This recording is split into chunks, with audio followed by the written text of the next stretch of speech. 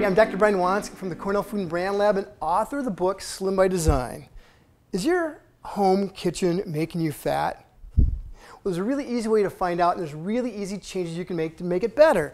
So in the book Slim by Design, there's a 100-point checklist you can fill out, and the more points you end up getting, the more your home is making you slim by design rather than fat by design. But importantly, it tells you exactly the changes you need to make to make your home more slimming and less fattening.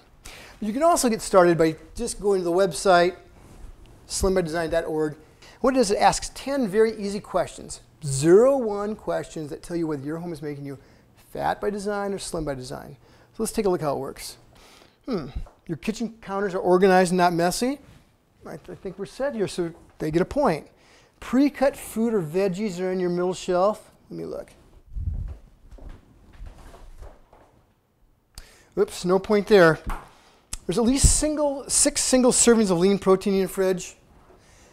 Yeah, I think we're doing okay there. And the importance of having that is that it gives you something to eat if you're really, really hungry. You don't end up ordering uh, that extra large pizza for carryout.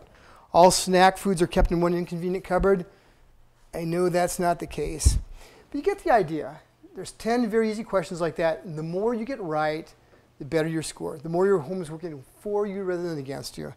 In this incredibly cool home, it gets about a six. So there's some small changes that could be made, most of these over the weekend, to make it slim by design instead of a little more fattening by design.